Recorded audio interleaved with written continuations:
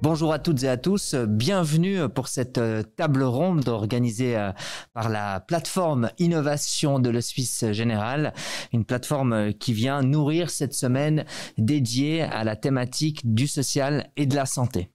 Alors le film que vous venez de voir, euh, c'est euh, véritablement euh, plus c'est un monument de l'histoire du cinéma engagé. Plus qu'un film, c'est véritablement une œuvre documentée qui a eu un retentissement mondial.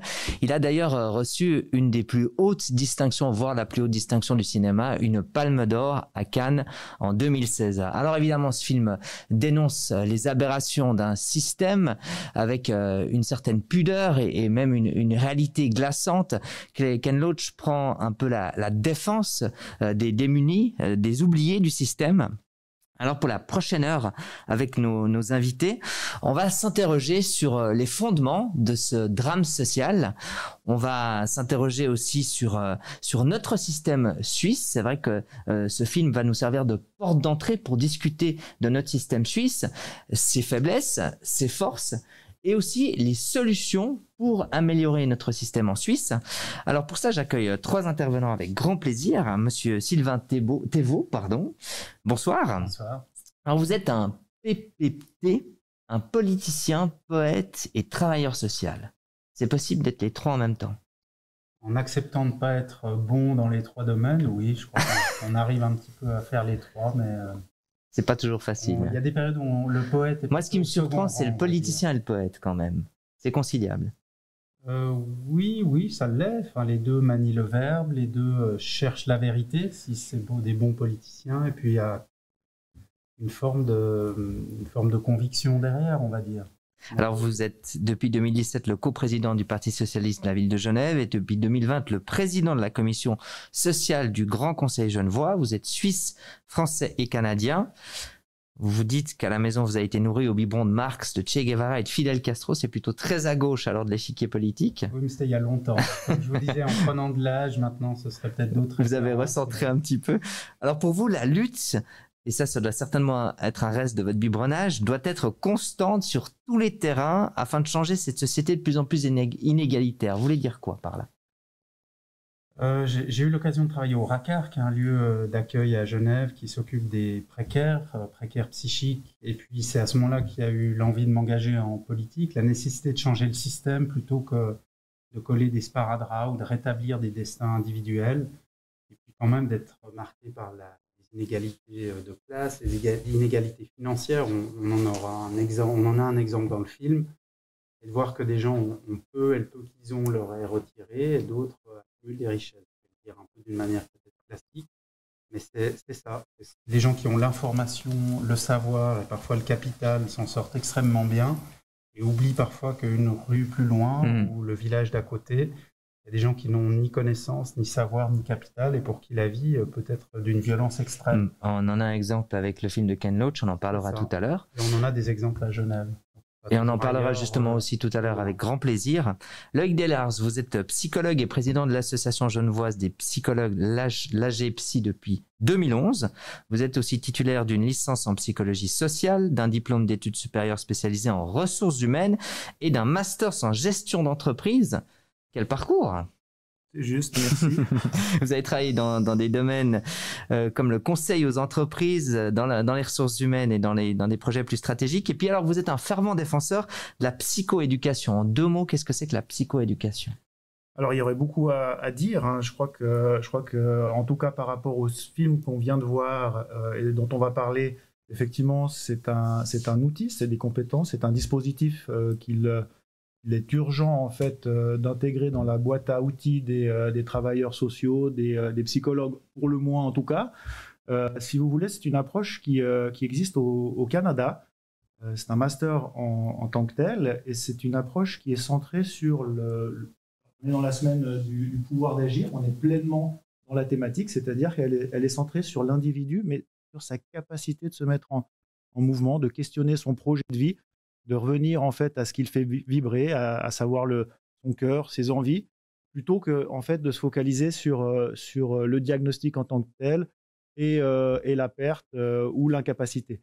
Et donc au cœur de la préoccupation, si je vous entends bien. Alors pour la psychologie, l'individu est toujours au cœur de la, de, la, de, la, de la profession et de la pratique. Par contre, c'est la manière d'appréhender les choses qui va euh, un petit peu être différent. Je ne sais pas s'il faut développer. Alors, on, on en parlera justement avec grand plaisir tout à l'heure. Je vais encore présenter Abderrahman Bekiek, bonsoir, merci d'être avec nous. Vous êtes professeur en cinéma, vous êtes un homme d'image, passionné par le langage cinématographique et filmique, mais aussi à tout ce qui touche aux arts et aux différents processus de création. Alors vous vous dites que vous aimez lire un film et le relire. C'est curieux quand même de lire un film. Oui, ben en fait, euh, on est, euh, on parlait tout à l'heure élevé au biberon, alors on peut parler de l'éducation. L'éducation nous avons, on nous apprend à lire les mots, mais pas à lire les images. Et donc, je pars du principe qu'en effet, on regarde un film une première fois et qu'il faut une deuxième lecture, une deuxième vision pour enfin voir bah, tout le processus de création, toute la mise en scène, tous les détails qui nous échappent à la première vision. Donc, on pourrait dire qu'on va regarder un film et puis ensuite, quand on le revoit une deuxième fois, on le voit, on le regarde une seconde fois. Donc c'est lire dans le sens étymologique du terme, prendre, glaner, collecter. Vous êtes diplômé d'enseignement supérieur spécialisé en ethnométhodologie et cinéma à Paris, en sciences de l'éducation à Paris et à Genève. Et vous enseignez aussi au Ciné-Cursus depuis plus de 25 ans en partenariat avec l'Université de Genève. Alors d'abord, pour, se focaliser sur le film, j'aimerais une réaction à chaud. Qu'est-ce qui vous a euh, marqué dans ce film, Monsieur Thévaux? Euh, La violence, violence du système euh, de santé euh, anglais qui éjecte quelque part quelqu'un qui a des droits, qui est malade, qui a eu un infarctus, qui est en mauvais état, qui ne peut plus travailler.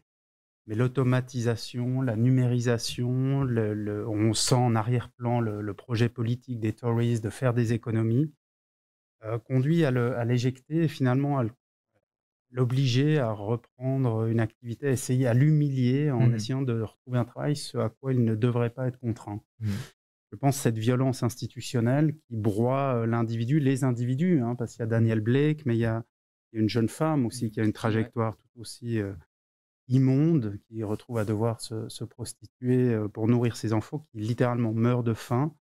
Voilà, c'est ces, trajectoires individuelles qui sont cassées par un, un système devrait les aider, mais qui les humilie, les abaisse, voire les conduit à la mort. Alors, M. Euh, Monsieur Beckett, vous, il vous a marqué aussi cette violence, cette humiliation? Euh, nous échappe, hein, parce que justement, il faut rentrer dans ce système ben, du chômage pour vraiment le, vivre de l'intérieur et mesurer à quel point, euh, tout le long du film, il y a cette idée de la culpabilité. Si vous ne trouvez pas de travail, c'est de votre faute. Si euh, vous ne savez pas rédiger un CV, c'est votre faute. Si vous ne maîtrisez pas l'informatique, c'est tout ce qui est reproché à Daniel mmh Blake tout le long du film. Et pour reprendre les violences, en fait, il y a aussi les enfants. Euh, on ne les voit pas, mais quand même, il y a mmh une violence qui est subie. Euh, la, petite fille, ses, chaussures abîmées, mmh euh, le, garçon qui est complètement replié sur lui-même. Petit à petit, il va beaucoup mieux grâce au contact de Daniel Blake. Mais sinon, il y a aussi une violence sur l'environnement autour. Ah, je suis d'accord avec ce qui a été dit, puis je ne vais, pas, le redire. Je pense que euh, je, trouve qu'il y a en, complément euh, une des dernières phrases qu'il dit qui, euh, qui m'a vraiment marqué et qui est Ces personnes-là ont ma vie entre leurs mains. Quelque chose de, ce type-là. Et je trouve que ça résume bien aussi toute l'horreur de cette situation, de cette trajectoire qui se brise et qui ne cesse en fait de, de cet homme qui ne cesse de tomber euh, et, qui finalement est même dépossédé de sa capacité de pouvoir faire ce qu'il sait faire, alors qu'on voit pendant tout le long du film que c'est un, un, citoyen engagé, ouvert, euh, attentif, effectivement. avec des compétences professionnelles, avec une vraie honnêteté aussi et une sincérité qui est, parfois amusante, parfois touchante. Et on voit bien effectivement que ce drame d'être confronté à une institution, à une machine qui finalement s'occupe plus d'être dans, dans l'application, dans l'exécution en fait un certain nombre de règlements, de procédures, de processus, et qui en oublie simplement effectivement que l'être humain est plus que cela et qu'on ne peut pas le réduire à cela. Mmh et, je crois que ça, cette, euh, cette image, alors c'est un film à la fois très émouvant, c'est une très belle critique, et en même temps c'est assez poignant de, se rendre compte que bah, c'est à nous euh, d'être vigilants aussi, euh, c'est au monde politique aussi d'être vigilant à ce genre d'illustration, de, même si elle peut être peut-être parfois caricaturale, pour veiller à ce qu'à un moment donné, l'institution mmh soit toujours à l'écoute. Mhm. de ne laisse de pas des gens en bord de route. Exactement, Mhm. malgré les crises, malgré Mhm. les défis financiers, malgré tout un certain nombre de Mhm. contraintes qui est, qui est propre aux institutions euh, et à leur fonctionnement, mais cette vigilance qui, euh, qui est vraiment rappelée à travers ce, ce- ce parcours. Alors, ce film a eu un retentissement mondial. Évidemment que la, la Palme d'Or y est pour, pour quelque chose, mais malgré tout, il se murmurait même qu'à l'époque, euh, certaines personnes proches de Theresa May euh, lui a recommandé de, de- le voir, de le regarder, parce que il est le reflet d'une réalité saisissante. Pourquoi vous avez l'impression que ce film a eu un tel retentissement mondial, Monsieur Thévaux Est-ce que c'est cette révolte universelle qui, l'a poussé en avant? Je sais pas, peut-être de voir, euh, je dirais clairement, la perversité aussi d'un système qui fait comme si tout allait bien, qui dit, ben oui, la porte, vous voulez le chômage, allez au guichet. Et c'est- Les, les- les serviteurs euh, de l'État sont cordiaux d'une certaine manière, indiquent le bon guichet. euh, euh, De façade, tout fonctionne, mais on voit aussi la perversité du système qui, et je crois que c'est dit dans le film, à un moment, ils font tout pour te décourager en fait. Mhm. Donc ceux qui sont censés t'aider, finalement, te découragent pour baisser les chiffres, pour faire des économies, pour faire en sorte que euh, va, et c'est peut-être le rôle du politique, faire comme si tout allait bien pour être élu. Et je pense que ça, c'est effectivement universel. C'est des rapports de pouvoir, c'est des rapports de classe. Donc il nous, Ken Loach fait une fable dans laquelle chaque société, euh, parce qu'elle est humaine, parce qu'il y en a euh, qui vont chercher à accaparer le pouvoir ou, ou maintenir euh, une certaine autorité, vont reproduire ces genres de mécanismes d'une manière structurelle, d'une d'une manière évidente. Et puis aussi parce que c'est une fable, je pense, sur la bonté, aussi sur la résistance, sur les solidarités multiples, qui n'arrêtent pas tout au long du film de se chercher. euh, tous les personnages sont dans une forme de résistance aussi, de comment on va faire pour vivre un peu mieux, pour avoir un peu plus d'argent. Et ça, je pense que là aussi, comme humain, d'une manière très forte, euh, et, et on, on se reconnaît euh, dans ces démarches-là. Est-ce qu'on est du côté euh, de la machine euh, oppressante et perverse, ou est-ce qu'on est euh, du côté humain Et ça, c'est un- peut-être un peu Ken Loach. Hein. C'est- vrai qu'il y, a y y cette double- a cette fable. J'aime bien ce terme, c'est vrai que c'est une fable à, à la fois très sombre et à la fois euh, porteuse quelque part d'espoir avec ces gens qui, euh, ces petits personnages qui gravitent autour du personnage principal et qui amènent leur lot de solidarité, de débrouille. euh, et ça, c'est peut-être un regard qu'on qu'on soulève pas forcément suffisamment, Monsieur Delars. Je pense que euh, si, vous me lancez effectivement sur l'aspect de la solidarité, je crois que, je crois que l'être humain, en fait, on vient de là. On vient en fait de, de, cette, de cette particularité d'être d'être en clan, d'être en société, d'être d'être euh, social justement et d'être organisé autour de cette entraide. Et je pense que c'est si on prend l'histoire de l'humanité et son développement, eh ben cette fibre, on l'a. Et puis peut-être que ces, ces 50, 100 dernières années, effectivement, on s'est retrouvé dans un confort matériel et dans une, dans une histoire de société qui s'est construite autour de l'individu et moins autour du collectif. Et je pense que, comme, euh, comme, euh, comme vous le dites, effectivement, le rappel de cette solidarité, elle, elle nous fait déjà du bien, parce qu'on se sent moins seul probablement. Donc là, je pense qu'il y a déjà une partie de la réponse qui est cet écho que ce film vient, vient chercher en nous. Je pense qu'il vient surtout aussi chercher euh, quelque chose qui est de l'ordre de l'injustice et, et, qui est très très fort en fait. C'est-à-dire que cette situation, elle est totalement injuste. Mmh. Donc euh, ce, ce, personnage euh, est, une, aurait tout pour lui quelque part. Ouais. un, problème cardiaque, donc il est, il est victime mmh. d'une certaine manière de, de voilà de, de, ce qui peut arriver à tout à chacun. Et puis à partir de ce moment-là, en fait, tout se met en place malgré ce qu'il a construit, malgré le fait qu'il ait respecté le contrat social. Et, et je crois que cet aspect-là, en fait, déjà, un, nous sidère, euh, et de la révolte à travers ce sentiment d'injustice, et puis nous questionne aussi, je pense, sur la peur que ça peut, en fait, engendrer, euh, parce qu'on connaît tous, en fait, des situations d'exclusion, des situations de souffrance, des situations qui sont décrites dans, dans, ce film, alors pas forcément sur la même personne, mais on, on peut s'interroger en disant, et si ça m'arrivait? Mmh. Si j'avais, en fait, euh, accepté de jouer le jeu social, de ce contrat social qui finalement est un, est un construit collectif euh, pour me permettre aussi d'être de, de, à l'abri du froid, de, de, la faim, de l'insécurité, eh bien, si en fait ce, tous, tous les sacrifices que je fais, s'ils étaient vains, qu'est-ce qui se passerait? Et je crois qu'en fait ce, ce, film est un peu vient nous chercher dans ces zones en fait très profondes, très émotionnelles euh, de nous qui sont, qui sont, qui sont là. Alors effectivement, cette situation pourrait arriver à n'importe qui. Et ça, c'est quelque chose qui ressort aussi du film. Monsieur Beckett, ce qui est, ce qui est intéressant, c'est qu'il y a un, un, réalisme dans ce film, euh, il y a une pudeur dans l'écriture qui, qui peut-être met encore plus en avant cette force du message. Et, j'ai lu que visiblement, euh, Ken Loach n'a pas utilisé que des acteurs, il a utilisé des, des, personnes qui ne sont pas des acteurs et qui viennent intervenir dans le film. Ça, vous avez l'impression que ça, donne encore plus de force quelque part à sa démarche? Oui, c'est le travail justement, euh, bah, toujours cette frontière qui est difficile à, définir. Est-ce qu'on est dans la fiction? Est-ce qu'on est dans le documentaire?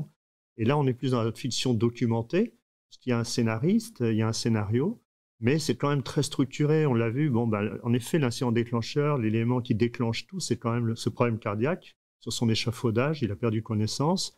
Là, ça aurait pu être encore plus grave. Et puis petit à petit, se met en place toute une histoire. Toujours avec justement, il y a, y a, un refus de la complaisance. On ne nous montre pas la violence. Il y a une pudeur. En effet, quand on voit la jeune femme, Cathy, qui est obligée de se prostituer, on la voit pas nue, on la voit pas dans une situation euh, perverse, malsaine. Euh, donc il y a toujours cette sobriété, cette distance et ce respect de l'individu et des personnages dans les films de Ken Loach. Même, même à la fin, effectivement. Euh, jusqu'à la fin. jusqu'à la fin. On ne voit pas justement ce qui se passe. Euh, voilà, on entend un bruit et puis ensuite, ben, on devine, on pressent parce qu'il y a un travail de mise en scène là aussi où on se dit là, il va y avoir quelque chose. On, approche le climax, en effet. Monsieur Thévaux, j'aimerais juste réagir sur ce qu'a dit Monsieur Delars. On parlait de cette solidarité, effectivement, cette société qui s'est construite un petit peu sur l'individualisme. Est-ce que vous n'avez pas l'impression que depuis le Covid, cette solidarité, euh, c'est de nouveau remise en route? Euh, on se préoccupe plus des autres parce qu'il y a un virus qui peut nous toucher. Dans un immeuble, on fait les courses à, des personnes euh, peut-être qui ne peuvent pas sortir, qui sont plus âgées ou plus à risque. Vous n'avez pas le sentiment qu'aujourd'hui, malgré tout, cette solidarité s'est remise en route? Euh, je dirais oui et non. oui, sur certains plans, il y a, je pense, un ébranlement, une recherche, vous l'avez dit, de solidarité. Il y a des connexions qui sont faites dans les immeubles. Il y a un certain souci de l'autre qui a pu opérer. Et puis je dirais aussi non, parce que le retour à la normale euh, relance euh, certaines vitesses. Il y a la crainte de perdre euh, qui un emploi, qui une position, la crainte d'un déclassement, et parfois la lutte pour les postes ou les places qui demeurent. Donc je pense que tant qu'il n'y a pas une vraie réflexion, une vraie organisation, une vraie politique pour dire on fait autrement, et cette solidarité un peu cachée, émergente, on se donne les moyens de les, vraiment de les connecter, de les thématiser, de les, les valoriser, euh, voilà, elle se crée, elle se défont, et peut-être qu'on oubliera ça, et que dans six mois, on sera tous mmh. voilà, à faire tournicoter des t-shirts en dessus de nos têtes pour les plus heureux, pour les autres, à avoir perdu le boulot, à aller de l'office cantonal de l'emploi à l'aide sociale, et puis à rien faire tourner autour de sa tête. Et puis ceux qui font tourner leur t-shirt autour de la tête en moqueront éperdument parce qu'ils seront bien placés. Je hmm. Je suis pas très optimiste, si vous voulez. Pas très optimiste. D'accord. Monsieur Delars J'apprécie comment vous, vous présentez la situation. Je crois qu'effectivement, il, y a eu, il y a eu plusieurs temps. Je crois que le, premier confinement a été un, un, temps de grande sidération pour tout un chacun. On s'est tous retrouvés face à quelque chose qu'on n'avait jamais vécu on ne connaissait pas, avec beaucoup de peur. Et puis, face à ça, effectivement, la réaction a été la solidarité, exactement comme vous l'avez décrit. Et, on a pu, effectivement, d'une certaine manière, euh, retrouver ces élans euh, intergénérationnels, indépendamment, en fait, euh, du fait qu'on connaissait la personne ou pas. Il y a eu ce, besoin d'être en contact, ce mmh besoin de pouvoir être socialisé et de, et de retrouver du sens, de retrouver de l'humanité. Maintenant, par rapport à la situation actuelle, je, moi, je, je, serais plutôt pessimiste et j'ai quelques craintes. Euh, je m'explique. On, voit effectivement qu'on on est potentiellement sur des situations qui vont se catégoriser encore plus, où les vulnérables, alors aujourd'hui ils ont un vaccin, mais qu'est-ce qu'il va rester en fait de ce stigmate? Euh, Ceux qui, ont, qui sont rentrés dans des circuits de précarité, comment en fait ils vont restaurer leurs biens, comment ils vont restaurer leur équilibre, quelle trace ça va laisser en eux?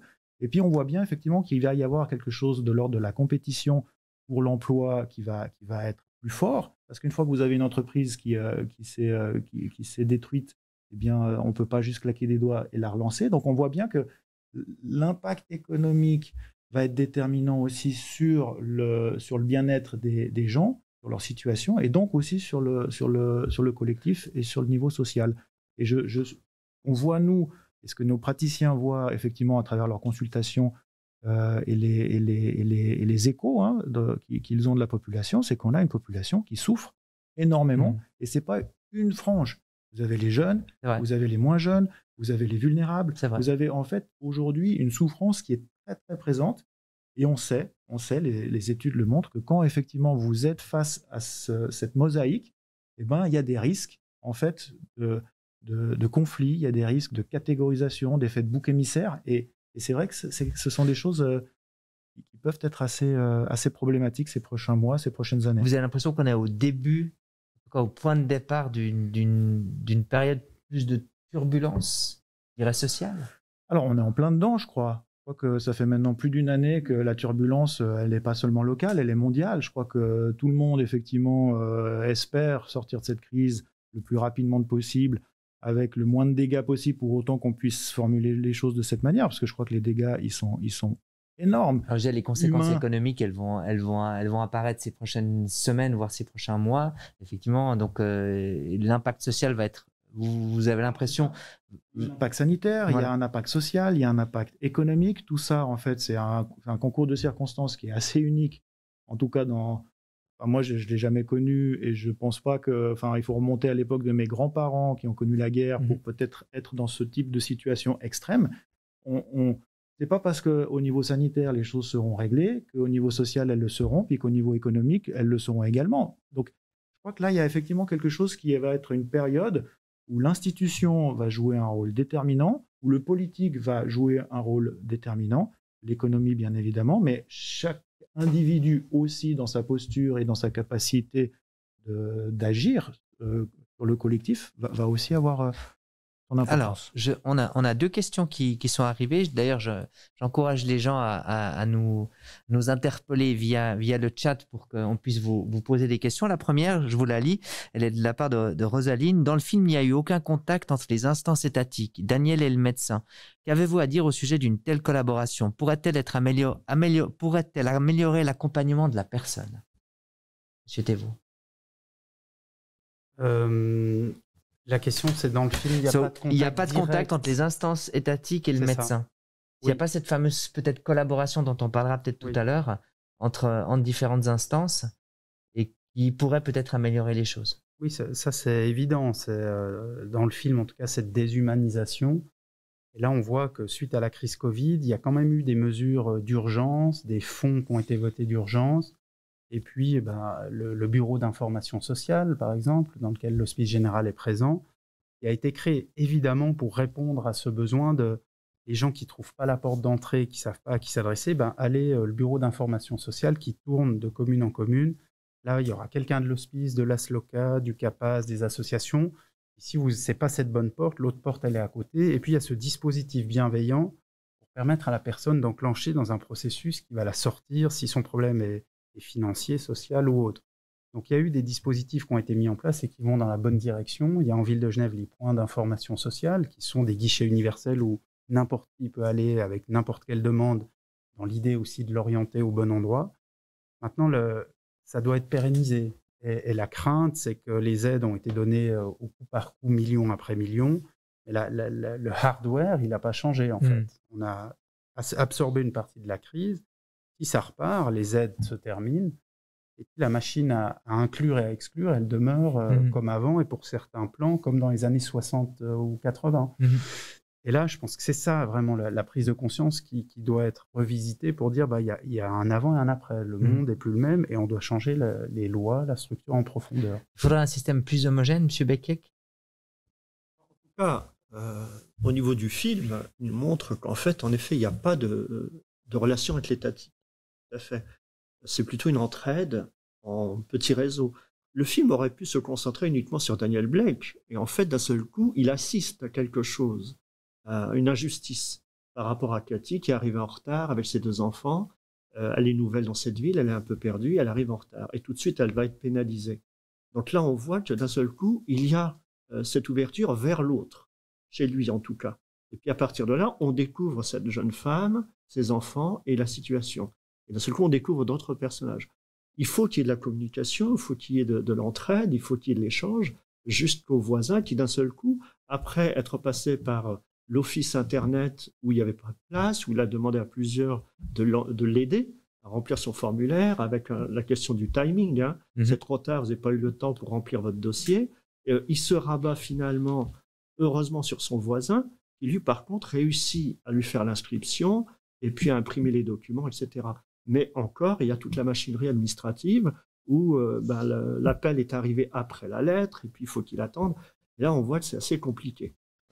Il faut en effet euh, homogénéiser tout ça. Ouais. Homogénéiser ça. Et je dirais, parce que j'ai parlé tout à l'heure de, nous avons parlé de, la violence euh, souterraine, quotidienne, de, plusieurs personnages qui, voilà, qui subissent. Mais en fait, on n'a pas parlé du personnel. On a deux personnages quand même dans le film. Il y en a une qui, euh, Sheila, euh, qui clairement, euh, bah, elle dit il y a un règlement et elle, elle, elle, supporte ce règlement et elle mmh. l'applique, mais pas forcément heureuse de le faire. Mmh. Et puis il y a Anne qui va venir rencontrer Daniel, qui va essayer de l'aider, et puis tout de suite il va être appelé à l'ordre, convoqué en son bureau par le chef de service. Et là, on voit que l'autre applique le règlement pour être justement pas, oui, on pourrait dire ça, ouais pointée par sa chef de service, euh, voilà. Et puis l'autre, par contre, ben, euh, elle l'essaye et puis elle les rappelle. elle, ne, respecte pas les règles du législateur, effectivement, dans ce cas-là. Euh, est-ce qu'il n'y a pas dans le système suisse, peut-être qu'on va faire des parallèles maintenant avec notre système suisse, est-ce qu'il n'y a pas dans notre système suisse cette volonté quand même qu'on doit respecter les règles du législateur au détriment peut-être de la personne qui vient chercher l'aide, Monsieur Delars euh, alors c'est un petit peu dans la continuité de, ce qui a été dit. Hein. Euh, moi je pense qu'on a, on a vraiment la, chance. le, film montre une forme de, caricature extrême où, euh, le personnel se braque tout de suite, met des règles tout de suite, menace tout de suite, exclut tout de suite. Dieu merci. Alors je ne sais pas si c'est effectivement une illustration un pour un de ce qui se passe en Angleterre. Je ne connais pas le système anglais. Par contre, je sais simplement que ce qui se passe en Suisse, ou en tout cas à Genève, en fait, Dieu merci, on a énormément de chance d'avoir des, partenaires euh, sociaux, hein, des partenaires d'interface, des gens qui accueillent justement les, populations vulnérables ou les, bénéficiaires de, ce genre de dispositif, avec quand même beaucoup de respect, beaucoup d'engagement, beaucoup de, bienveillance. Euh, et, on a la chance, alors on a la chance d'avoir un terrain héros qui est très très riche, hein, qui, euh, avec une histoire aussi à Genève de la, de la, philanthropie, avec, avec un hospice général qui est là, qui joue pleinement son, son rôle hein, euh, de, d'entremetteur, et on le voit bien à travers le, le, le, MISO, justement, cette, cette, volonté de fédérer, mmh. d'articuler tous ces, tous ces dispositifs. De mettre du liant, effectivement, entre ces dispositifs. Exactement, on a l'AI, on a, on a le chômage, on a une multitude, en fait, de, de dispositifs qui fonctionnent bien, et, on a la chance d'avoir des, professionnels qui sont, qui sont compétents, qui sont engagés. Et donc, je pense que le parallèle euh, avec le film, il ne doit, il doit pas être fait. En tout cas, pas de mmh la même manière. Il y a peut-être un point qu'on n'a pas soulevé tout à l'heure, c'est que, sauf erreur, le, dispositif, euh, il est sous-traité à une société privée. Ce qui veut dire que ça, c'est une politique, si c'est le cas, euh, très libérale, hein, d'externaliser les prestations, et je crois que dans le film, à un moment donné, c'est ce que euh, l'intervenant dit euh, à, monsieur, à monsieur Blake. Et je crois qu'on n'a pas du tout cette culture en Suisse, justement, de l'entraide ou de la prise en charge des personnes qui, ont, qui, ont, qui sont dans le besoin. Et donc, je ne ferai pas le, le, parallèle, pas du tout. Je mmh pense qu'on a énormément de chance euh, à Genève et en Suisse d'avoir des dispositifs qui, globalement, fonctionnent. Maintenant, effectivement, chaque dispositif a des failles. On n'est mm. jamais euh, à l'abri euh, de, parcours et de trajectoires dramatiques. Et je pense que ça, c'est un des vrais enjeux euh, de toutes les institutions et de toutes, les, de, toutes celles et ceux qui sont dans, la prise en charge de ces, ou l'accompagnement de ces personnes, que de veiller en fait à ce qu'elles ne soient pas exclues, qu'elles ne soient pas mm. en fait les laissées pour compte d'un système par de l'exclusion numérique ou par d'autres types de problématiques. Et je, crois, si vous. Et après, je, laisse mes collègues aussi euh, peut-être parler. C'est chouette parce qu'on a, on a pas mal de questions qui arrivent, donc on va profiter de, de vous. Je, crois juste qu'en fait, un des éléments clés, c'est la proximité. Et chaque fois que vous avez effectivement des personnes qui sont en contact direct et qui ont cette chance de pouvoir voir la personne, l'entendre, appréhender aussi de sa situation et ses émotions, eh bien, ça crée un contexte humain. Mm. Et, quand il y, a, de l'humain, on, reviendra sur cette notion de proximité, si vous êtes d'accord, Monsieur Delars. Mais alors, j'ai une question de la part de Patrick. À vos avis, comment est-il possible de se sentir et reconnu autrement que par le travail, Monsieur Thévaux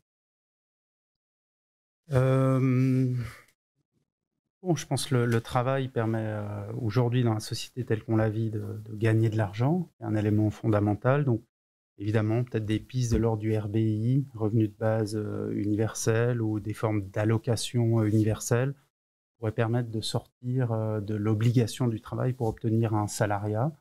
Un renforcement aussi des, solidarités, du bénévolat, du troc social, permettrait peut-être de sortir de, de l'étau, je dirais, du travail. Et je dis étau parce qu'il y a encore ce caractère moral pour euh, un peu euh, mettre un bémol à ce que M. Delars a dit avant, on a eu une crise assez grave ces derniers mois sur l'Office cantonal de l'emploi. Ça a été débattu au Grand Conseil qu'une obligation dix fois par mois euh, de, faire des demandes d'offres de travail. Donc des gens perdaient leur travail dans la restauration, l'hôtellerie et autres, étaient contraints de faire dix offres d'emploi. Et c'est exactement ce que montre Daniel Blake. Vaine, inutile, hmm. humiliante. Et s'il ne le faisait pas, était sanctionné, parce que le règlement demandait de le sanctionner, était puni, voire sortie de, de l'allocation chômage pour être émargé à l'aide sociale. Et donc, ce côté, euh, le travail, euh, il faut montrer que vous avez envie de le faire et puis vous serez un bon citoyen et, vous n'allez pas toucher une aide sociale ou le chômage gratuitement, comme si ce n'était pas une assurance pour mmh. laquelle les gens avaient cotisé, encore très présent. Et, sortir de, là, c'est évidemment. Euh, il y aurait besoin d'une automaticité de l'aide, que l'aide devienne automatique, qu'on ne doive pas forcément la demander euh, qu'on n'ait pas un, chemin à faire pour l'obtenir, mais qu'elle devienne automatique Oui, je pense qu'il y aura une série d'aides, par exemple les prestations complémentaires, qui devraient être automatiques. Euh, en dessous de chez moi, euh, il y a quelqu'un qui vit, qui a été découragé de demander les prestations complémentaires. On l'a baladé, puis il a dit, monsieur, comme ça, il va vivre avec son AVS. Et puis le système, finalement, s'en contente parce qu'il fera des économies. C'est étonnant. Si vous allez chez le médecin, puis vous dites, j'ai mal là, on va faire une série, on va dire, mais allez voir peut-être le rhumatologue, allez mhm. voir ceci, allez voir cela. On va vous faire une liste mhm. de tout ce que vous pouvez aller faire, tout ce que vous pouvez consommer. Et puis vous allez être probablement très bien pris en charge parce que le système euh, se nourrit aussi du fait que vous allez consommer de la santé. Si vous allez euh, chez un assistant social, il va dire, vous êtes sous les barèmes, au revoir. Mhm. Vous, êtes rentré à l'hospice, vous ressortez. Donc ça, ça se passe et aussi personne ne va se soucier bah, quotidiennement, que vous y ayez droit ou pas. Et personne euh, va se soucier que vous auriez pu obtenir d'autres aides. On ne va pas faire le chemin pour vous, c'est mmh votre responsabilité individuelle. Et donc, euh, à terme, ben, si vous n'avez pas les compétences pour les identifier ou si vous ne tombez pas sur un bon euh, ou une bonne assistante sociale, vous n'aurez rien, mmh ou le minimum vital. Mmh Je crois que M. Delars n'est pas tout à fait d'accord avec vous sur cette notion d'accompagnement. vous avez l'impression bah, que... C'est bien, c'est aussi le, but d'une table ronde mon propos n'était pas de dire qu'à Genève, il n'y a pas des, trajectoires d'exclusion. Je crois que ce, serait, ce serait illusoire de croire effectivement que tout est parfait et qu'on n'a rien à changer. Je voulais peut-être juste éviter, c'est les comparaisons un à un en disant ah ben Genève, ce serait comme en fait dans le film. Ça, ça, mmh. je, en tout cas, moi je m'y reconnais pas dans cette affirmation et je crois qu'effectivement les, les professionnels qui qui, euh, qui œuvrent euh, tous les jours en fait ne s'y reconnaissent pas non plus. Après qu'il y ait des, circuits d'exclusion, comme vous venez de le, préciser en disant, bah, effectivement, il y a des barèmes, et puis quand on est hors barème, bah, on n'y a pas le droit. Mais c'est une réalité. Et puis quand vous êtes euh, migrant euh, sans permis, eh bien, effectivement, vous n'y avez pas le droit et vous n'osez pas le faire. Et puis, et puis, et puis, donc, si, vous voulez, il y a plein de choses effectivement qui sont imparfaites et, sur lesquelles je pense que euh, nous pouvons ou nous devons agir, hein, parce que si, sinon ça ne va pas que j'essayais de dire tout à l'heure, c'est qu'on a quand même un, on a plusieurs filets. Mmh. C'est-à-dire que vous prenez la lavie, et eh bien en fait la lavie, elle prend aussi en, charge euh, les situations qui sont des situations euh, où, des personnes qui sont euh, qui sont pas forcément avec un permis de travail peuvent aller chercher justement ce soutien-là. Et, et c'est ça que j'essaie de dire, c'est qu'on a une telle, on a la chance d'avoir une constellation d'acteurs et, une multitude de filets. Exactement, qui fait que Dieu merci, souvent on tombe sur quelqu'un qui va orienter, qui va orienter, qui va orienter. Maintenant, il y a un autre problème qui se pose, je pense, qui est euh, comment effectivement, lorsqu'une personne est en rupture, lorsqu'elle est vraiment impactée, et le film, je trouve que ne le montre peut-être pas assez, c'est-à-dire que on, voit des gens qui restent assez, assez clairvoyants, assez dignes, euh, assez en révolte, mais on n'a pas ce, côté où finalement il y a l'effet tunnel, où à force de, ne pas y arriver, la personne s'effondre. Et puis, alors peut-être pour la femme c'est plus, c'est plus, c'est plus clair, mais elle est encore en capacité d'avoir un discours très clair avec Daniel euh, Blake quand il vient la voir justement lorsqu'elle se prostitue, et elle est encore très dans, dans, le, dans, le, dans le, rationnel, même s'il y a beaucoup d'émotions, elle est encore en capacité d'analyser, de, de, dissocier, de faire un, ensemble en fait de, d'opérations, j'ai envie de dire, que la personne qui s'effondre, au bout d'un moment, n'est plus en capacité de faire. Et je crois que là, effectivement, il y a un vrai défi aussi. C'est pas tellement qu'est-ce qui se passe sur celles et ceux qu'on n'arrive pas à prendre dans le dispositif, ce serait plutôt de dire qui est-ce qui ne vient pas dans le dispositif et comment on peut les aider ceux-là à ce qu'à un moment donné, ils puissent mmh. être identifiés. Alors je crois que le BIS que vous avez mentionné est, une magnifique, est un magnifique dispositif justement qui vise à être dans cette proximité qu'on évoquait tout à l'heure. On sait que certaines communes ont mis en place des dispositifs de, cellules sociales et, c'est au cœur des quartiers justement des, opérateurs qui à un moment donné sont justement dans cette possibilité d'entendre, d'inviter les gens à venir parler et de soutenir.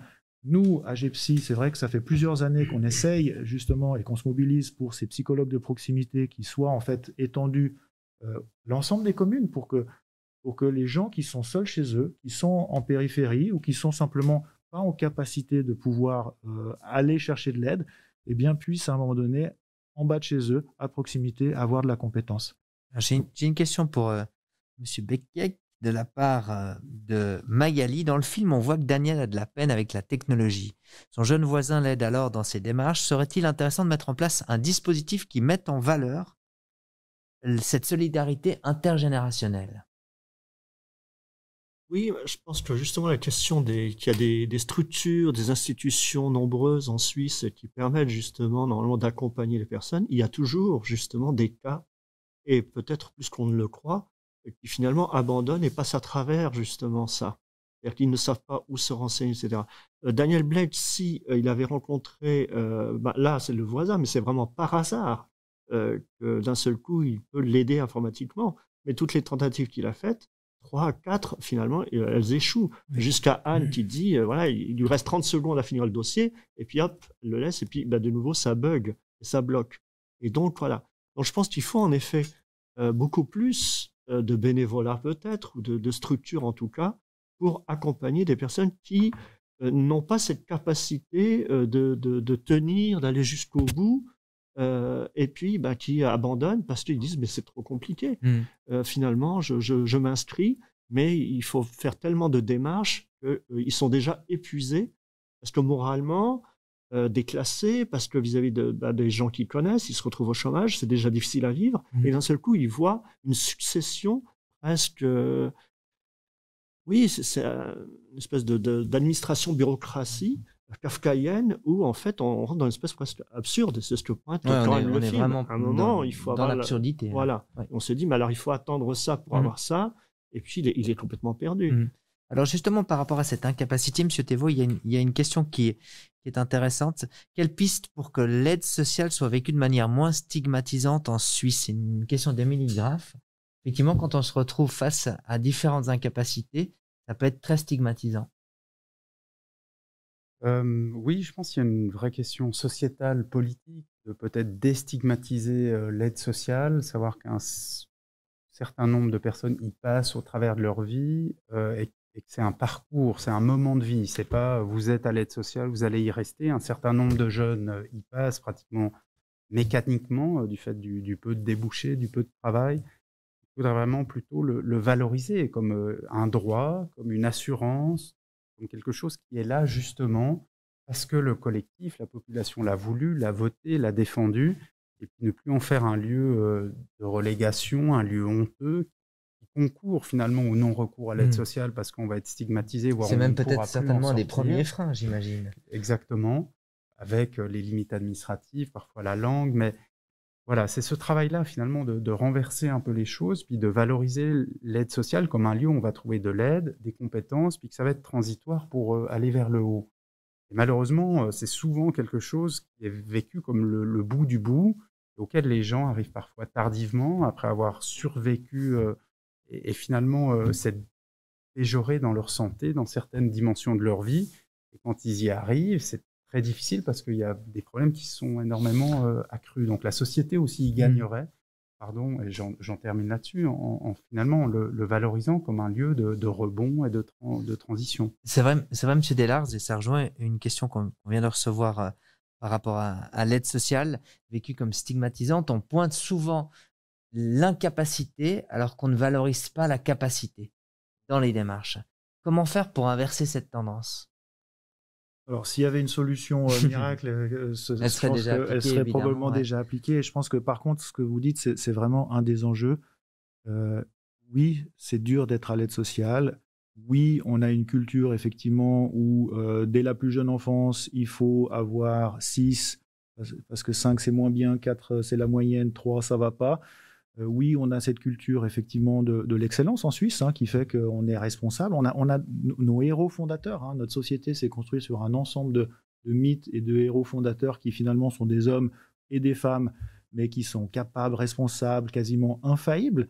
Et, euh, on a cette espèce de, mythe, en tout cas, qui fait que euh, être à l'aide sociale, c'est une tare, c'est une honte, et effectivement, c'est incroyablement stigmatisant par rapport à l'aide sociale, enfin, je pense qu'il faut aussi se rendre compte que c'est la même chose pour la, pour la maladie mentale ou la, ou la souffrance psychique. Mmh euh, quand on dit aux gens qu'il y a à peu près 23, 22, 25 des individus qui vont dans le courant de leur vie euh, passer par un épisode dépressif, les gens disent mais c'est pas possible, ah mais comment c'est, mais pas moi, puis moi j'en connais pas. Et en fait, voilà, on a, on a ces mêmes réflexes, probablement de peur, de dire là là, si j'ouvre cette boîte euh, et que je commence à regarder ce qui se passe, ben en fait, euh, peut-être que ça va me faire peur parce que je vais voir des gens qui sont comme moi mmh. ou qui ont des parcours qui, à un certain moment, étaient comme le mien.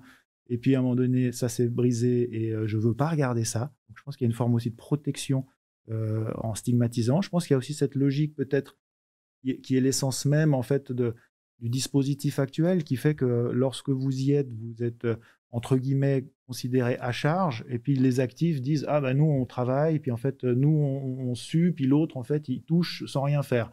Et je pense que là il y a des questions peut-être de l'ordre politique. Hein. Euh, vous parliez du revenu euh, universel tout à l'heure, mais aussi de, la posture en disant mais est-ce que ces gens-là ne peuvent pas être des contributeurs? Parce que mmh finalement une société c'est avant tout euh, un acte citoyen, une collectivité qui fait qu'on existe aussi parce qu'on agit Mmh dans ce collectif avec nos, congénères. Et, un, des, un des, points que je notais tout à l'heure par rapport aux réactions de mes, mes, collègues, c'était effectivement cette posture du contributeur qui n'est pas assez, à mon sens, probablement utilisé et qui est peut-être un des leviers pour euh, créer, faire en sorte que ces dispositifs soient perçus aussi comme, tiens, il est à l'hospice, mais il est aussi contributeur, tant qu'il puisse l'être, hein, mais d'un certain nombre d'actions. Et donc, eh bien, euh, d'une certaine manière, c'est plus facile pour lui, c'est plus facile pour le groupe, pour les mmh. gens qui n'y sont pas, de peut-être imaginer le fait que bah, voilà, ça circule, et puis à un moment donné, on est contributeur, à un autre moment, on est de nouveau salarié, à un moment donné, on est retraité. Et là, il y aura peut-être une, une, articulation qui serait peut-être aussi une partie de la solution. Je, crois, je crois qu'en préparant cette émission, c'était vous, Monsieur Thévaux, qui me parliez de ces jardins, jardins familiaux, cette première étape, de devenir finalement, en quelque sorte, un peu contributeur. Les jardins potagers. Jardins potagers, exactement. Euh, qu'on crée euh, dans mon activité professionnelle pour justement euh, avoir des lieux où on peut aussi échanger de, de ses parcours de vie sans forcément être directement stigmatisé, aide sociale ou autre, et puis où il va se passer des choses entre les gens autour de quelque chose qui les rassemble. Peut-être expliquez-nous le concept, parce que c'est vrai que vous, vous me l'aviez expliqué, mais peut-être les gens ne le connaissent pas. Bon, c'est des, des, potagers urbains simples avec des gens qui, souhaite cultiver un bout de lopin. Et dans notre pratique professionnelle, on va identifier les espaces, rassembler les gens, les inviter quand le processus est engagé à créer une petite association. Et puis finalement, simplement à cultiver euh, ces terrains et on fonctionne comme facilitateur. Et on voit que ceux qui ont parfois peu de capital social, et on a travaillé aussi avec des migrants qui, qui étaient peu de choses en regard euh, les gens bah, savaient euh, aligner euh, des, des, des, planches, mmh, prendre, mieux sortir que l'équerre, et que les balances des compétences, des, des, looks et des cravates étaient complètement renversées, ce qui faisait que l'universitaire qui savait pas bêcher se retrouvait presque ridicule aux yeux de sa femme et d'autres personnes. Euh, le faisaient très bien, ou des femmes qu'on imaginait peu aptes à lever une brouette faisaient le travail pour trois hommes. Et ces espaces-là créent, de la solidarité, créent de la solidarité, créent un petit bouleversement des valeurs à leur échelle, hein, elle est modeste, et aussi que ça cause. Finalement, ça parle. On n'est plus dans, ces vitesses, on est dans un projet collectif avec aussi des enjeux de, comment on va prendre soin de notre petit jardin, quelque chose qu'on enracine. Et symboliquement, c'est très, très mmh, fort. C'est joli, effectivement. Vous parliez tout à l'heure de proximité, Monsieur Delars. Est-ce que finalement, notre système d'aide sociale, il peut devenir un système sur mesure ou est-ce que c'est pas quelque part utopique? Alors, je pense que je pense que tout le monde n'a pas le même besoin. Je pense qu'il y a des gens qui effectivement, avec le système en place, s'en sortent très bien parce qu'effectivement, ils, ont tout d'un coup un passage à vide. Euh, il y a quelque chose qui se passe dans leur euh, dans leur vie, un accident, euh, le chômage, que sais-je. Et puis en fait, ils vont assez naturellement rebondir parce qu'ils ont suffisamment de ressources, parce qu'ils ont suffisamment effectivement de, de, de, réseaux ou de moyens à disposition, d'énergie. Et donc, ça, je crois que c'est quand même la grande, grande majorité des gens qui, naviguent dans ce système et qui fait qu'en fait, ils s'en sortent relativement bien. Euh, après, vous avez effectivement, probablement, aussi plusieurs autres typologies de personnes des gens qui, euh, qui, à un moment donné, vont, vont pas s'y retrouver ou vont pas rentrer dans ces cases-là. Et pour ces gens-là, alors je ne sais pas le chiffrer, hein, mais pour ces gens-là, je trouve qu'effectivement, euh, des logiques plus, non pas d'égalité de traitement, où chacun reçoit effectivement la même chose en termes d'accompagnement, mais plutôt d'équité, à savoir que celui qui n'a pas besoin de ressources en termes de conseils, et eh bien d'une certaine manière, on le laisse effectivement faire ses recherches, si on parle du chômage, euh, ou, d'autres choses. Et puis, pourquoi à ce moment-là, effectivement, euh, vérifier euh, et puis passer du temps à courir derrière un certain nombre de justificatifs pour autant que les choses se mettent en place, j'ai envie de dire, bah voilà, laissons, laissons faire. Et puis, utilisons peut-être cette, cette, énergie, ces compétences pour celles et ceux qui, en fait, ou pour lesquels ce n'est pas assez. Et pour lesquels, en fait, on n'arrive pas à mettre en place ou à, ou, à, utiliser pleinement euh, les dispositifs existants. Et je crois que là, le sur-mesure, euh, qui peut passer par des choses très très simples, hein, mais simplement enraciner, c'est le terme mmh. que vous avez utilisé que j'aime beaucoup, c'est enraciner ces personnes ou réenraciner ces personnes dans un groupe, dans un collectif. Redonner ce sens, ce goût de faire quelque chose, de se lever le matin, de pouvoir aller être contributeur d'une activité, de pouvoir partager, de pouvoir socialiser. Et ça, effectivement, ça nécessite des moyens, ça nécessite du sur-mesure, c'est un petit peu l'idée, je reviens à, sur mesure, à la question de la, psychoéducation qu'on n'a pas débattu tout à l'heure, mais qui est vraiment cette approche. Je savais que vous vouliez la placer. Alors revenez sur la psychoéducation. Je la place. Non, mais ce qui est justement se dire, bah, pour ces gens-là, ne vont pas réussir, qui vont pas réussir à rentrer dans le système, puis qui sont justement pas euh, euh, pas formatés pour et pas euh, n'ont pas les ressources pour. Eh bien, je crois qu'effectivement à ce niveau-là, la logique de en capacité d'aller chez la personne. Briser en fait ce tabou qui est euh, la personne doit venir dans l'institution, elle doit faire acte en fait d'attente dans l'institution. Non, eh bien faisons peut-être faisons l'inverse et c'est ce que font les Québécois, c'est que c'est le professionnel qui se déplace. Ça crée toute une autre dynamique, ne serait-ce que dans le sitting, c'est-à-dire que c'est pas le professionnel qui maîtrise le lieu et qui est effectivement chez lui pour accueillir une personne qui va attendre, c'est le professionnel qui se met à la disposition et d'une certaine manière en risque d'aller rencontrer euh, euh, un, être humain chez lui, de pouvoir aussi être qui permettre dans son intimité, dans, son intimité, et qui va aussi nourrir un certain nombre de, qui va donner énormément d'informations pour aussi pouvoir être plus à même de poser un diagnostic, d'évaluer une situation et de pouvoir aussi créer cette confiance qui est essentielle lorsque ces gens-là sont en rupture et sont justement euh, sont plus en capacité de se mobiliser. Et c'est pour ça que je trouvais intéressant d'essayer de, faire venir cette compétence à Genève. Euh, et, on est à bout touchant, donc euh, touchant du bois pour que, ça, arrive, mais qui de dire il faut pas ça pour tout le monde. On, est quand même dans une sorte de sur-mesure, c'est-à-dire complètement. C'est-à-dire que vous êtes de nouveau sur une personne qui est brisée, une personne qui, qui, qui est exclue, une personne qui est en rupture. Si vous n'allez pas à son contact et si vous ne faites pas du sur-mesure, eh bien, à un moment donné, vous n'arriverez probablement jamais à, l'aider à construire un tremplin pour rebondir. Mmh. Alors, après, on peut toujours essayer de m'expliquer que oui, mais ça coûte beaucoup d'argent et puis on ne peut pas le faire pour tout le monde. Mon propos était justement là de dire on, ne doit pas le faire pour tout le monde, mais il y a quelques cas pour lesquels ce serait probablement nécessaire d'investir assez fortement pour leur donner cette chance. Et puis après aussi accepter que finalement, on a beau avoir fait le maximum, et eh bien cette personne, elle a pu faire un bout du chemin, mais peut-être qu'elle n'ira pas, euh, elle ne retrouvera peut-être pas toute l'autonomie qu'elle avait à un certain moment dans sa vie, parce qu'une brisure, c'est une brisure. Mmh. Et qu'une personne, si je prends une comparaison un peu stupide qui me vient en tête, bah, une personne qui s'est cassé la jambe, bah, peut-être ne courra plus aussi vite euh, après. C'est une comparaison qui n'est pas stupide, je vous rassure tout de suite, Monsieur Delars. C'est une, euh, c'est une jolie image, effectivement. Euh, il y a des gens qui ne peuvent peut-être plus courir après une, après une fracture, tout simplement. J'ai, une question peut-être pour Monsieur Beckek de la part de Stéphania Lemierre qui dit, on le voit très peu dans, dans le film d'ailleurs, c'est, le médecin de premier cours, le médecin traitant.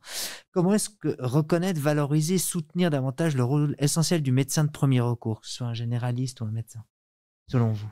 Alors en effet, je pense que euh, Loach travaille ça, c'est-à-dire la première séquence, elle se fait, on n'a pas l'image. On entend deux personnes qui communiquent, on ne sait pas si c'est au téléphone ou si elles sont face à face.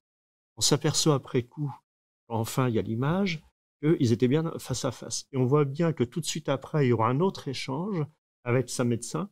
Et là, pour le coup, on voit une écoute, une attention. Il a le temps de s'exprimer. Euh, elle lui explique les choses. Voilà. Alors qu'il y a un problème de communication énorme entre euh, bah, la première séquence. C'est assez mmh. euh, violent. Mmh. Et en effet, j'ai l'impression que, en regardant le film, juste une impression, une certitude que, encore au niveau médical, on peut encore discuter, on est encore à l'écoute et on n'est pas encore dans une démarche bureaucratique avec des formulaires et des QCM le QCM, vraiment le QCM du début, euh, et encore, je dis QCM, c'est pas tout à fait un, questionnaire à choix multiple, c'est plutôt un questionnaire à choix limité. Non multiple, ouais. Limité, c'est-à-dire c'est oui ou c'est non. Hmm. Et dès qu'il s'écarte un peu, elle le recadre et elle lui dit non, non, non, vous vous éloignez, c'est pas ce que je vous demande, répondez simplement à la question. Et là, la communication n'est plus possible. Voilà. Donc ça, à mon avis, c'est un gros problème. Et euh, encore peut-être dans le médical et le, social, on prend encore le temps d'écouter la hmm. personne, avant de lui apporter des réponses ou des solutions. Mhm. Mais vraiment, on essaie de bien comprendre. Avant de passer la, la barrière bureaucratique. J'ai une remarque pour vous, Monsieur Thévaux. Euh, l'automatisation de certaines aides serait effectivement tellement bienfaisante et revalorisante pour des personnes qui sont notamment étiquetées comme non productives car diagnostiquées malades psychiques, par exemple. Quelque part, ça rejoint votre, votre opinion sur, le, sur le, ce bienfait de l'automatisation de l'aide. Je vous propose qu'il nous reste encore euh, euh, minutes pour, euh, pour ce débat. On passe peut-être aux solutions pour améliorer notre, notre système de santé. Quelles seraient pour vous les pistes les plus importantes pour améliorer aujourd'hui?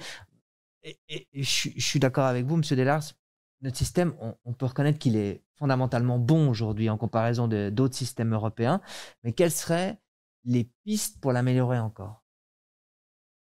Bah, je pense que chaque, institution, chaque profession a effectivement un ensemble de, propositions qu'il pourrait formuler. Je, vais peut-être me limiter effectivement à ce que je connais, à savoir justement celles qu'on formule dans le cadre de, de, de, l'AGPSI. pour nous, ce qui est, ce qui est intéressant aujourd'hui par rapport à, à, la question des solutions, c'est pas tellement de venir challenger le système en place. Euh, de manière brutale en disant rien ne va. C'est plutôt comme j'essaie de le dire, est-ce qu'on arrive à observer euh, ailleurs dans le monde ou chez nos voisins à côté, en fait, des dispositifs qui, fonctionnent, qui viennent mettre l'humain effectivement en mouvement, qui viennent mettre euh, toute la question de ces ressources, la mobilisation des ressources qui, est notre loi toutes et tous, hein, qui vient mobiliser, se préoccuper de ces ressources. on n'a pas parlé de, certaines, euh, de certaines approches scandinaves euh, qui finalement fait, convoque ou invite le réseau de proximité, c'est-à-dire les proches, les voisins, les collègues, à pouvoir venir discuter avec le patient pour essayer de trouver des solutions collectives pour que finalement ce ne soit pas une relation institution-individu, mmh. mais que ce soit plutôt quelque chose effectivement qui soit ce qu'on voit très bien dans le film, c'est-à-dire comment chacun, mhm. chaque acteur amène un petit en fait, amène une petite impulsion qui finalement, pardon, est, bénéfique et permet à l'individu effectivement de tout de suite être socialisé, tout de suite être dans cette mobilisation des ressources. Donc je pense qu'on a tous effectivement ces capacités de, se questionner sur ce qui, ce qui existe ailleurs. C'est vrai que nous, par contre, on, on est très, à l'écoute bah, de la situation actuelle parce que cette crise euh, qui est sanitaire bah, touche bien évidemment la santé mentale et, génère une souffrance psychique assez, phénoménale. Donc là, on est vraiment aujourd'hui quasiment plus que focalisé sur, cette écoute, sur cette euh, disponibilité vis-à-vis de, des personnes qui sont dans, ce besoin d'accompagnement.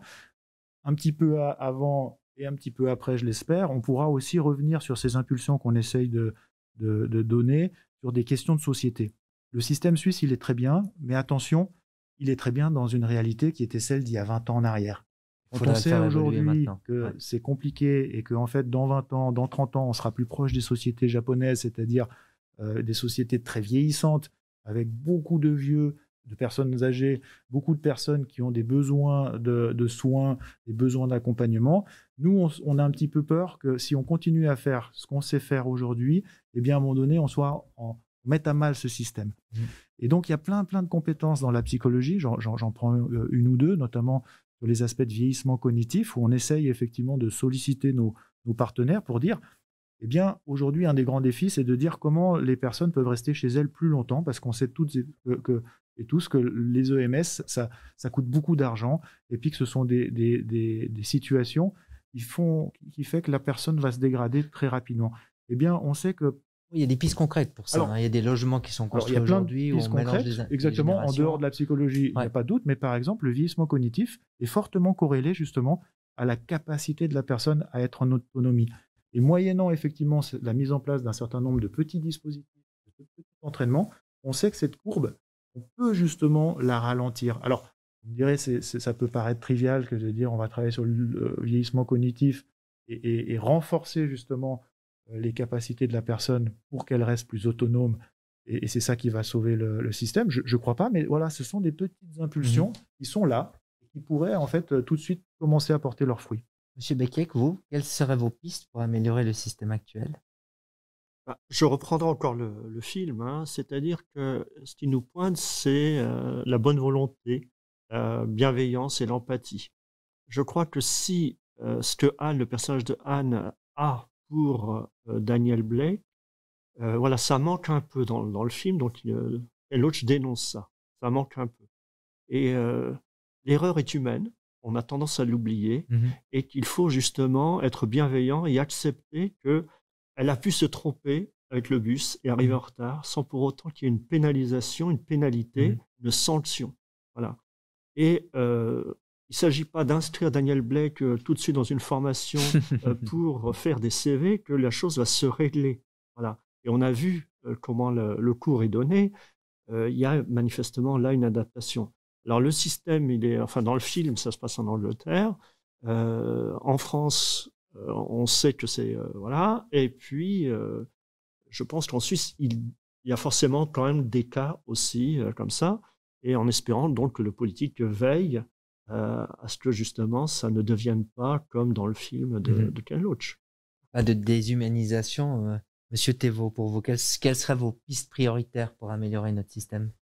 On en, a, on a nommé quelques-unes ce soir, mais déstigmatiser euh, l'aide sociale et le champ social, en faire plutôt un lieu vers lequel il faut rapidement se tourner, frapper aux portes qui existent sans honte, sans, sans stigmatisation, stigmatisation pardon, excessive, faciliter l'obtention des aides, c'est-à-dire bien sûr des gens compétents qui n'ont pas 65 dossiers mais qui ont des, un nombre restreint et qui peuvent prendre du temps vraiment pour euh, entendre la demande qui se cache des, fois derrière euh, la demande et, ça on sait que ça prend du temps.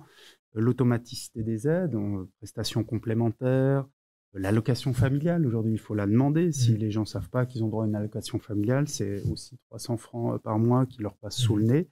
Et ça, ça ne me semble pas insurmontable. Vous faites une déclaration d'impôt, euh, le service euh, des, finances sait qui est sous la barre. On pourrait imaginer toute une succession d'aides automatiques où la personne n'aurait rien à faire. On sait qu'elle est en dessous. Elle pourrait être immédiatement contactée, informée, orientée. Renforcement de tous les mécanismes, euh, on en a un peu parlé, de bénévolat, de solidarité de proximité, qui soient valorisés à l'échelle d'un quartier, à l'échelle d'une petite ville où il y aurait des référents, il y aurait des personnes qui auraient un travail valorisé, de mettre en connexion des gens qui ont envie d'aider, qui ont le temps d'aider, qu'ils soient retraités ou temporairement sans emploi, et d'autres qui en ont vraiment besoin. Et, moi aussi, durant cette crise, on a vu un élan de solidarité, vraiment des gens qui disaient j'ai le temps, j'ai envie, je parle français, je veux enseigner le français, je peux aller chercher les courses. Mais ça, si on ne l'organise pas, si on le capitalise pas, mmh. il, retombe parce que les gens savent pas connecter euh, la demande et, l'offre, si vous voulez. Et tout ça, euh, voilà, je pense que c'est des pistes euh, ambitieuses peut-être, mais réalistes. Il faut qu'elles soient ambitieuses. Et puis, bien sûr, si on me répond que ça coûte trop cher, ben, je répondrai qu'on fera des économies si on met un petit peu en, avant ce genre de mesures. Et puis qu'il faut sans, sans, honte augmenter l'impôt des personnes qui ont le plus de ressources pour qu'elles puissent financer cet espace social qui est garant de la paix sociale. Parce mmh. qu'à un moment, euh, les, les ou, les gueux n'accepteront plus d'être des citoyens de seconde classe. Et il y a une grande partie de cette violence euh, qui est retournée euh, contre les personnes elles-mêmes. Mais il se pourrait qu'à un moment de l'histoire, elle soit retournée contre les autres. Et je pense que ça, c'est un point où on ne veut pas arriver. Espace social garant de la paix sociale, c'est une très belle, très belle expression qui, mettra un point de conclusion à, notre discussion. Merci beaucoup en tout cas à, vous trois d'avoir été euh, avec nous parmi nous. Je, termine juste peut-être sur une question structurelle parce que on a une question. Euh, pourquoi n'avez-vous pas invité des Daniel Blake sur le plateau pour participer à cette table ronde? C'est vrai, on aurait pu inviter des Daniel Blake. Peut-être qu'on le fera la prochaine fois. Euh, on, voulait peut-être prendre le, film qui est déjà un beau témoignage comme point de départ et puis peut-être amener cet éclairage ce soir avec des personnes concernées ou euh, connaisseuses du domaine pour pouvoir ouvrir un petit peu. Voilà, je merci en tout cas à vous pour votre participation. Merci, à vous qui êtes derrière euh, votre écran pour votre temps et votre attention. Restez tous et toutes en très bonne santé et à bientôt.